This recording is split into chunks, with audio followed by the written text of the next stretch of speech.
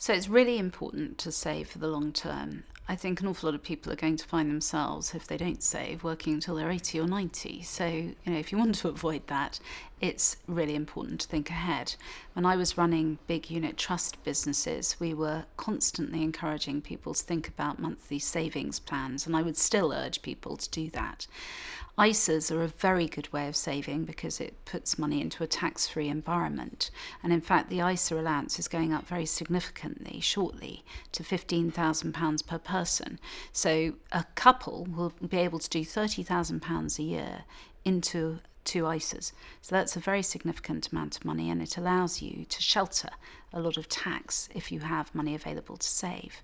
So you don't necessarily have to do it in lump sums it's really a very good idea to have some sort of monthly savings plan.